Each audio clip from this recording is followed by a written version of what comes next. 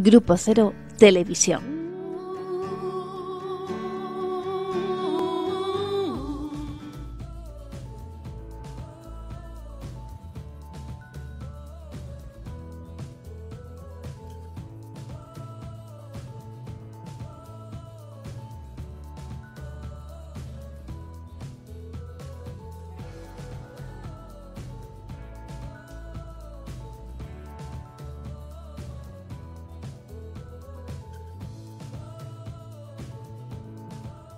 Tal? Bienvenidos un día más a Psicoanálisis a la Carta.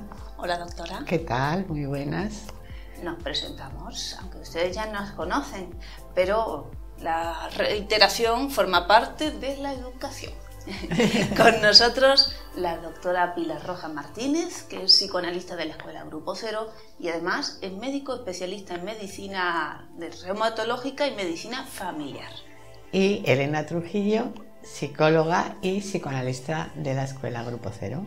Y por petición popular, por necesidad de la población masculina y por sugerencias del mercado que lleva a cierto consumismo perjudicial para la salud, hemos elegido una temática muy interesante relacionada con la sexualidad. Mm. Además, con una de las publicaciones de la doctora Pilar Rojas y la doctora Alejandra Menasa de Lucía, ambas directoras del Departamento de Clínica Grupo Cero, el libro sobre trastornos, bueno, la sexualidad y sus trastornos. trastornos es un libro muy interesante para estudiar, no solo para los profesionales, sino para cualquier persona que quiera conocer más sobre las condiciones de la sexualidad humana y sobre esos trastornos que nos preocupan y como ahí, bueno, pues ustedes con, con gran pericia, con gran pericia, pues, pues lo explican. Ese libro se lo recomiendo, está publicado en la editorial Grupo Cero. Y vamos a hablar hoy de la impotencia, la impotencia sexual. Pero es muy interesante porque decimos impotencia sexual y nuestra tendencia es a visualizar el órgano viril masculino eh, flácido. Sí. Aunque sea una imagen muy, muy gráfica. Sin embargo, en ese libro bien explicáis o reiteráis en que la sexualidad tenemos que sacar un poquito de la sexualidad humana, sacarla de la genitalidad, sí. como primer elemento fundamental para poder entendernos. Claro, es que la sexualidad es mucho más amplia que la genitalidad. La genitalidad es una de las muestras, ¿no? Pero sexuales, tan sexuales, el coito, por ejemplo, como el pintar, escribir, hablar, ¿no? Simplemente ya hablar, ¿no? Porque, claro, en el, humano, a diferencia de los animales, todo está pervertido. Todo está pervertido porque somos seres hablantes, somos seres deseantes, entonces ya no está lo instintual, no es eh, estímulo-respuesta, que sería del orden de, lo que sucede en los, en los, animales, sino que en el hombre todo está un poquito trastocado. Entonces eso es importante. Y luego porque también fíjate que es muy interesante porque cuando hay un síntoma a nivel eh, genital, como sería el caso de la impotencia, eh, también ¿no? esa digamos impotencia mm, se despliega en otros sectores de la vida. A lo mejor no son tan evidentes porque, claro, eh, la, impotencia en el hombre es muy manifiesta y, además muy mal tolerada, que eso también es importante, ¿no? Al igual que la mujer, por ejemplo, la frigidez la tolera pues relativamente bien, ¿no? No le da mayor importancia en muchas ocasiones. Para el hombre sí que es muy importante eh, la, impotencia, sí que le produce un gran malestar. Entonces es lo más eminente, ¿no? lo más prominente, lo que se muestra, pero también en otros sectores de la vida pues podemos digamos, ver señales de esa, esa impotencia. Y eso lo vamos a ver en algunos de los casos clínicos ah. que también eh, vienen reflejados en esa publicación, en ese libro, donde se muestra que el paciente no solo acude porque su, o con el motivo de consulta de que no tiene esa buena ejecución en el acto sexual, pero luego mm, va a reseñar que en otros aspectos de su vida hay cosas que, que tampoco puede realizar, que tampoco puede afrontar. Es muy, muy interesante.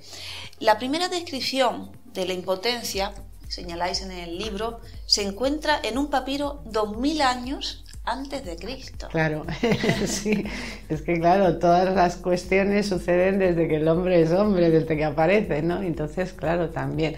Y, probablemente esté reflejado por eso que decíamos de que, eh, claro, es muy molesto, muy incómodo para el hombre sufrir de impotencia, entonces queda registrado, ¿no? Como un hecho a considerar, ¿no? Y también es un atentado a su propio narcisismo porque sabemos que el hombre y su órgano genital... Sí, es que es una prueba de masculinidad para el hombre, ¿no? Es como si ya no soy hombre, ¿no? Ahí, no, recordé ahora un caso que trae Freud a propósito de un olvido, ¿no? El de Signorelli. Bueno, es un caso clínico no, bueno, en realidad es un olvido del propio Freud, ¿no? Pero en, el despliegue, ¿no? El análisis de ese olvido, él señala la frase de, no trae la frase de, bueno, de una cierta población, ¿no? Eh, eran árabes, me parece recordar que decían, ¿no? Turquía. Turquía, ¿no? Bueno, turcos, ¿no? Otomanos, que mm, eh, ¿no? que si uno pierde la, ¿no? no es capaz de tener una elección, ¿no? pierde eh, ese, ese hecho, ¿no? o le sucede ese hecho, pues ya no tiene sentido la vida. ¿no? Bueno, el doctor Menasa también me indicó en estos días uno de sus propios pacientes cuando empezó a padecer impotencia sexual, es decir, que, que su miembro viril pues eh, no, no, ejecutaba como antaño el acto sexual perdía el sentido para su propia vida. Ese paciente, mm, frente a las indicaciones del psicoanalista que le decía, bueno, puede hacer otras cosas, puede descubrir o ampliar eh, su encuentro sexual con la mujer, él si el órgano sexual no funcionaba, decía que su vida no tenía sentido. Claro, es lo mismo, es la frase esta que decían, ¿no? Porque además lo dice tan poéticamente Freud, no recuerdo bien la frase, pero eso, Dios mío, ya no tiene sentido la vida, ¿no? Hipócrates también va a describir la impotencia masculina en pacientes ricos y dice que él lo relaciona con el hecho de cabalgar a caballo. Y dice, claro, los, pobres, como iban a pie, pues no tenían esa problemática. Y lo podemos traer un poco a la época actual, ah, mm, que tanto se relaciona con la alimentación, con ciertas costumbres de la vida, con la calefacción de los, eh, de los asientos en los vehículos, como si hubiera eh, muchos intentos, esa múltiple determinación que, a veces eh, eh, nombramos para explicar el fenómeno, pero que no tienen que ver con la sobredeterminación que es inconsciente. Claro, con las cuestiones psíquicas. Fíjate que, pero incluso desde el punto de vista mm, médico, siempre, ¿no? cuando se habla de impotencia, dice, es cierto, hay causas orgánicas, causas físicas que pueden provocar impotencia, pero son, o fármacos incluso, ¿no? Pero son muy determinadas. Pero el 90%, incluso la medicina dice, el 90% de las impotencias son de origen psíquico. Entonces, claro, no es despreciable el porcentaje, ¿no?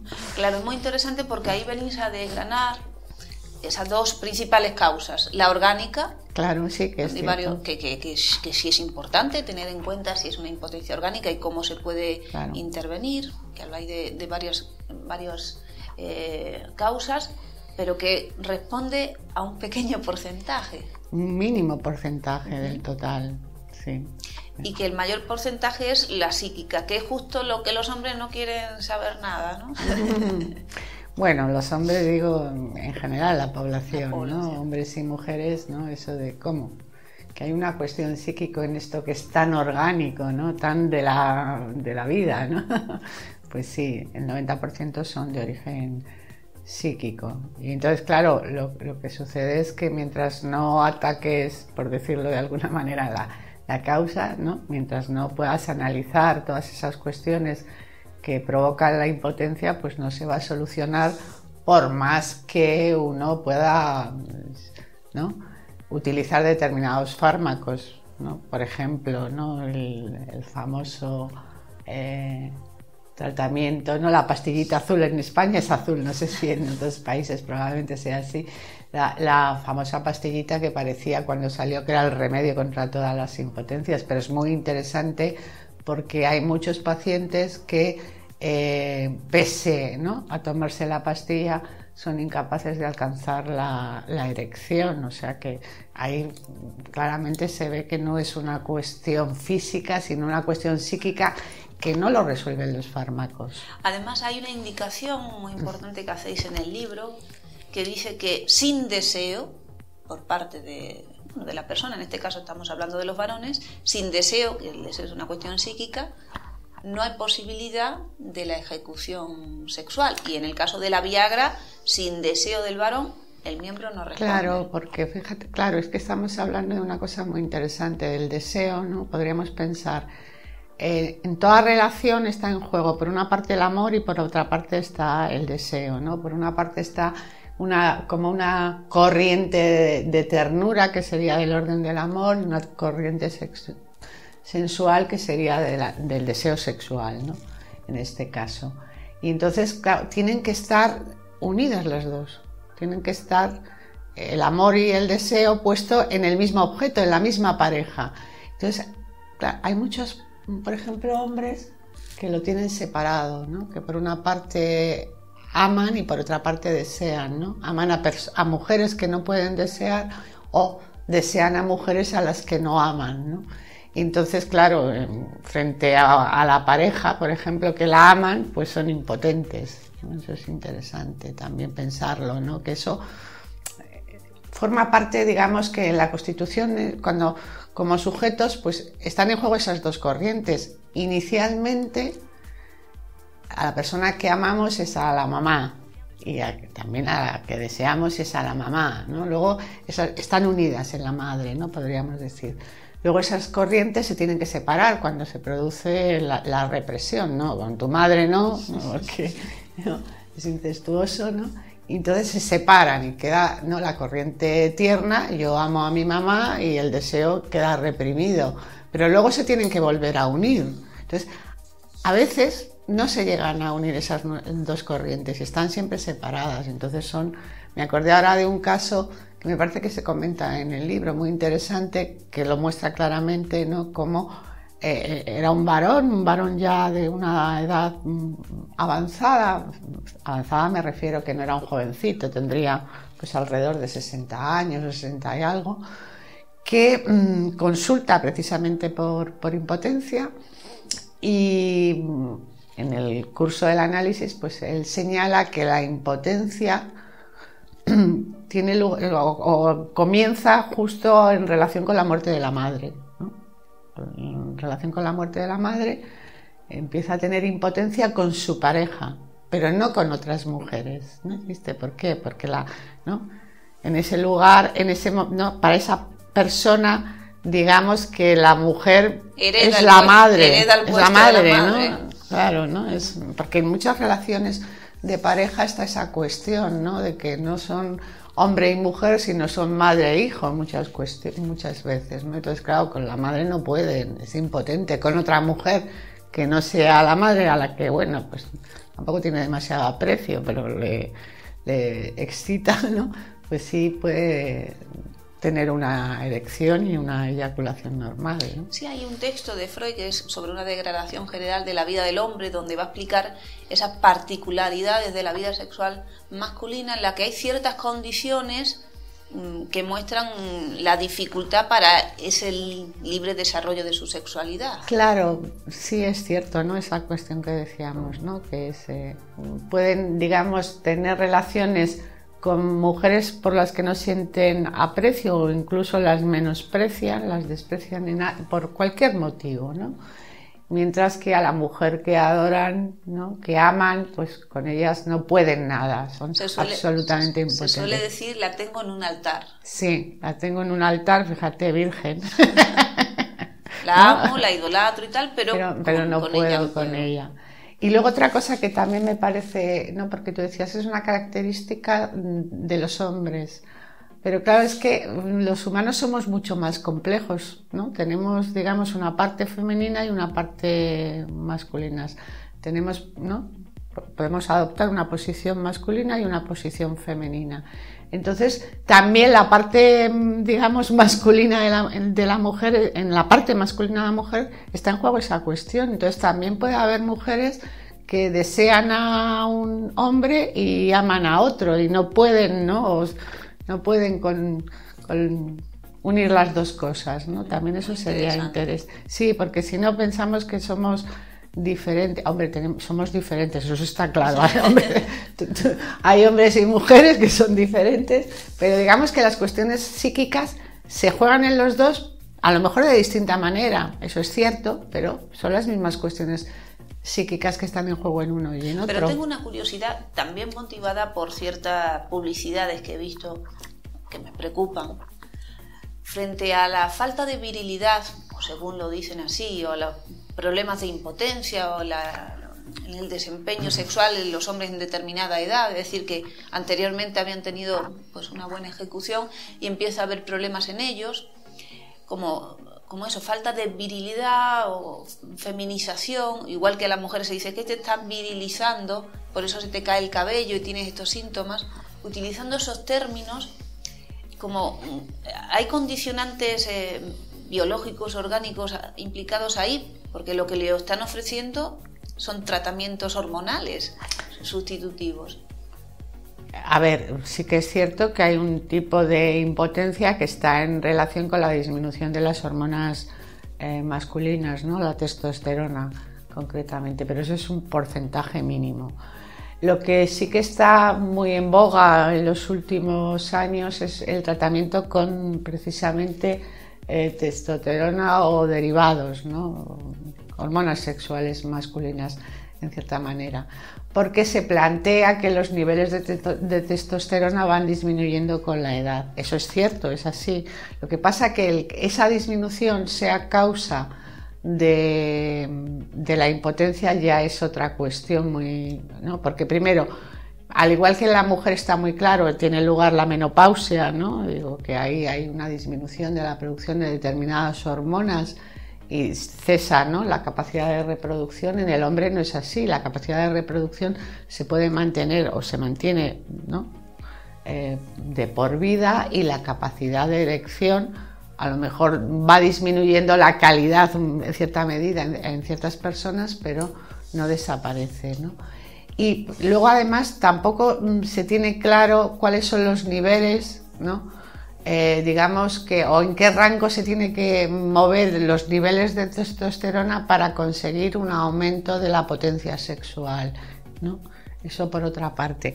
Y luego es como lo que decíamos de la Viagra, ¿no? De la famosa pastilla contra la, contra la impotencia, ¿no? Que también sucede lo mismo, que no todos los pacientes que eh, tienen una impotencia les ponen testosterona y de repente se vuelven, ¿no? aumenta la libido, ¿no? el deseo sexual o la potencia. Porque una cosa es la potencia, además, y otra cosa es el deseo sexual, la libido, ¿no? Digo que no está relacionada, eh, no es una correlación con las cuestiones biológicas.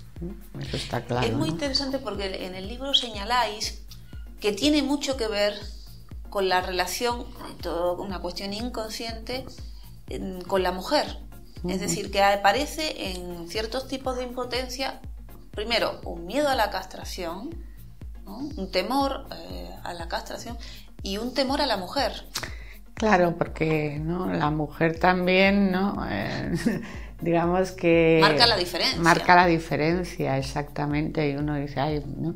Hay una fantasía que es inconsciente, por supuesto, ¿no? que no es algo que aparezca de manera consciente o que uno se dé cuenta ¿no? en algunos hombres que está jugado lo de la existencia de la, de la vagina dentada, ¿no? Eso de que en la penetración me voy a quedar, se va a quedar con, con mi pene, ¿no? Podríamos decir. Y eso puede ser una de las causas de impotencia, ¿no? El miedo ese que está jugado, que es el miedo a la castración, en el fondo, ¿no? La posibilidad esa, ¿no? Entonces, claro, eso es inconsciente en el sujeto, ¿no? Entonces, eso se tiene que... La única manera de desplegarse es en análisis, ¿no? Pudiendo hablar de las cuestiones que le pasan. No va a llegar nunca a esa interpretación, porque eso es una interpretación, ¿no? se le puede interpretar y las cosas pueden cambiar, claro. Y señaláis en el libro que un alto porcentaje de la población masculina mm, padece a lo largo de su vida de, estos síntomas y sin embargo no suelen acudir a la consulta del psicoanalista mm, por, esos síntomas. Es decir, que, hay dificultad también para, para pedir ayuda. Claro, es que estamos en lo de siempre, ¿no? En poder pensar que las cuestiones orgánicas tienen una base que no sea orgánica, que es psíquica, ¿no? Pero sí que es cierto que al igual que la mujer no suele consultar por la frigidez, consulta por otros motivos y en el curso del análisis se despliega esa cuestión o aparece esa cuestión de la frigidez, el hombre sí que consulta o puede llegar a consultar ¿no? por impotencia porque es algo que no tolera, no tolera y busca una solución eh, como sea, ¿no? acuden a, ¿no? a las cuestiones médicas, a los diversos tratamientos que bueno, siempre tienen una contrapartida de efectos secundarios importantes, no despreciables por lo menos, y luego está, mm, ¿no? si no me soluciona, bueno, pues voy a consultar, porque además eh, con esta cuestión de que se plantea de que en muchos casos, o desde la medicina incluso, ¿no? que en muchos casos son de origen eh, psíquico, pues también, ¿no? Ahí se juega más el, médico y dice, bueno, ¿por qué no consulta a un psicoanalista, a un psicólogo? Entonces sí que consultan por ese Está indicado en el libro un paciente de 26 años que el médico le dice, le recomienda, vaya usted al, psicoanalista y que tarda cinco meses en pedir cita. Claro, porque le cuesta, le cuesta. Y además luego tú decías esta cuestión de que mm, eh, no es frecuente que la impotencia, o es muy frecuente eh, a lo largo de la vida que eh, surjan episodios de impotencia. Pero claro, una cosa es puntualmente no, no puedo, ¿no? que, es una impotencia aislada, y otra cosa es una cuestión mantenida. Lo que pasa que sí que es cierto que en muchos hombres, después de un episodio de impotencia, eh, se establece ese temor a no voy a poder. Inhiben, ¿no? Hay una inhibición, pues eh, el miedo, ¿no? No voy a poder, me va a pasar otra vez. Fíjate eso. Simplemente por eso a veces es causa de impotencia más permanente, ¿no? En vez de pensar, bueno, no pude, pues ya está, la próxima vez no tiene por qué ser así. Claro, el factor miedo. Y luego también, ¿para quién es el síntoma? Porque hay hombres que le pasa con cierta mujer o con su mujer o con esta pareja determinada y con otras no. También el síntoma tiene destinatario. Claro, a veces es una cosa de venganza, ¿no? Risa maligna. No, claro, digo, porque no, las, las relaciones humanas son muy complejas, ¿no? muy complicadas. Y entonces a veces hay eh, una cuestión inconsciente, como siempre decimos, no es que uno conscientemente se dé cuenta de nada, ¿no? Pero hay una cosa de, de, venganza, no te voy a dar, ¿no? Porque claro, también es ¿no? el placer que le, no solamente es el placer que uno tiene, ¿no? sino el placer que le da al otro. No, te voy a dar nada, ¿no? Por ejemplo. Bueno, que ese tema trae para largo y lo vamos a tener que, seguir trabajando. Hay un caso que, señala en el libro mm, que, si me permites, es una persona joven que dice que, bueno, que, su, que él no conocía a su padre, que mm, abandonó a su madre a los seis meses antes de nacer que se cría con su madre y su, abuela, y, eh, y, que dice que nunca había contado, que nunca había hablado de la sexualidad con sus compañeros, con sus amigos, que se da cuenta cuando acude al psicoanalista que eran una temática que estaba apartada totalmente en su vida y que incluso le generaba malestar y la evitaba. Dice, me daba cuenta, o me di cuenta, me di cuenta ahora, que incluso cuando en el instituto nos daban clases de sexualidad, que me mareé y me desmayé frente a ese acto, como que había un apartamento total. No quiero saber nada de eso, ¿no? Exacto. Y eh, cuando empieza a tener relaciones con mujeres, no, no puede, no tiene la erección suficiente, achaca que su órgano es pequeño, que no es suficientemente grande, que como que hay una dificultad por un lado para elaborar la sexualidad en su vida y luego una cosa con la mujer. Y en el análisis eh, llega a construir el hecho de que no quiere dejar embarazada a la mujer. Claro, si no la puedo penetrar, no puedo eyacular, no hay ese peligro. Dice para no repetir la historia del padre. Claro. Que dejó embarazada a mi madre y la abandonó. Claro. Fíjate, es una cosa, a veces son cosas aunque parezcan increíbles, mm, pero ¿no? Condicionan toda la vida. Es, ¿no? no voy a ser yo como hombre, no voy a ser como mi padre, o tengo el temor de ser como mi padre, ¿no?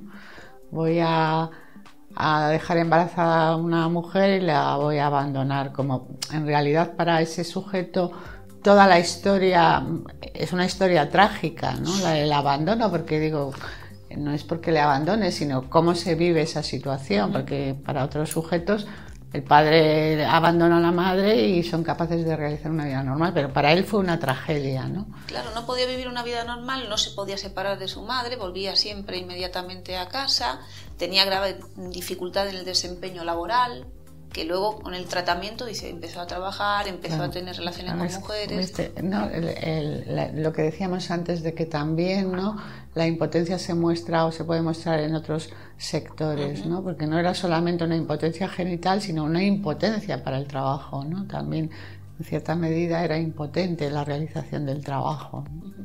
Y llega a indicar que, que duda de si ama a las mujeres, de si es homosexual, porque dice, nunca me he interesado por hombres, pero claro, como frente a ese encuentro sexual con la mujer no podía, pues claro, llega a, perder toda la confianza en, en, sí mismo. Claro, sí, no se cuestiona todo, ¿no? Si no puedo lo que todo hombre puede, ¿no? Podríamos decir, ¿qué me pasa, no? No soy no me gustan las mujeres, me gustan los hombres. Uno se pregunta, claro, porque uno siempre tiende a dar una explicación a lo que le pasa. Entonces, claro, lo que pasa con una explicación consciente o lógica nunca va a ser. Freud dice, nunca es lo que el paciente dice. Claro, pero en lo que dice está lo que, claro, formado.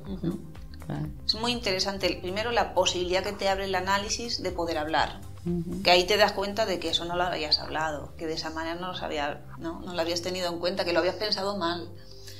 Y luego que te permite construir el hombre, la mujer, las diferencias, permite construir una nueva historia. Una nueva historia, ¿no? Aquí el tipo dice, desde hace un año, ya aunque ya no me lo crea, no tengo ningún problema de erección. Lleva ya dos años en análisis y dice, ya no soy impotente.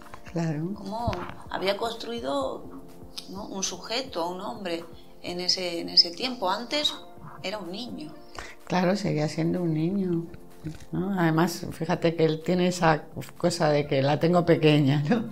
los niños, ¿no? Tiene, un pene de niño, ¿no?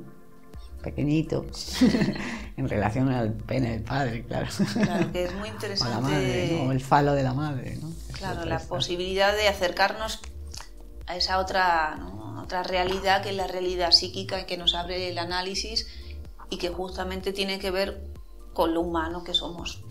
Claro, porque ¿no? con respecto a esta cuestión recordé también un aforismo del doctor Menasak que dice algo así como poder hablar de las fantasías sexuales, ¿no? Ya es un grado de salud. Exactamente, ¿no? Ya no enferma, ¿no? Si no puedo hablar de las fantasías sexuales, pues puedo enfermar. ¿no? Claro, tienen poder sobre uno, un poder fantasmático además. Claro. Que ya es un, grado. Bueno, vamos a seguir trabajando para, para, que sigamos conociendo, porque hay otros aspectos que se nos han quedado en el tintero. Claro, porque claro, causas de impotencia no hay una causa, hemos mencionado un par de cosas así por encima, pero hay varias causas psíquicas que pueden estar en juego en una impotencia y que hay que valorar en cada sujeto, claro. Que me parecen también mm, muy interesantes, pero lo, lo vamos a abordar en el próximo programa. Así que tienen también la posibilidad de escribirnos consultas y sugerencias.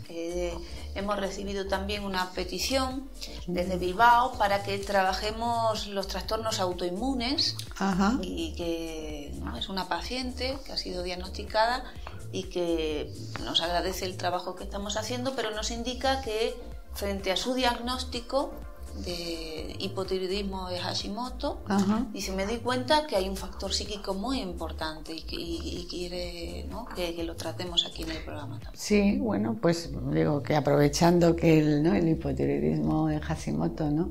Eh, o la enfermedad de Hashimoto es una enfermedad autoinmune, podemos porque también eso da para muchas cuestiones, pero dar algunas pinceladas importantes sobre la autoinmunidad tomando como modelo precisamente esta cuestión, ¿no? El hipotiroidismo. Así que seguimos, aunque en un espacio, por eh, la temporalidad no abarquemos todos los temas, vamos a seguir trabajándolos y les invitamos a, también a consultar los textos que están a su disposición en la editorial Grupo Cero, que pueden visitar su web. Hay un, trabajo muy, muy interesante de que las doctoras han realizado y que han publicado y siguen además trabajando para futuras publicaciones y por supuesto les recordamos que está ese seminario de medicina psicosomática que bueno que también está destinado para los profesionales que quieran bueno, incluir en su formación el psicoanálisis así que bueno infórmense tienen ahí las indicaciones y nosotras bueno les recordamos el correo electrónico ah, por, supuesto. que no se nos pase el psicoanálisis a la carta arroba gmail.com nos pueden escribir haciéndonos eh, preguntas, comentarios, planteándonos cuestiones, lo que deseen. Encantadas de contestar a sus preguntas, a sus mails. Muy bien, y nosotras seguimos, pero por hoy llegó el tiempo de despedirnos hasta el próximo programa. Hasta la próxima.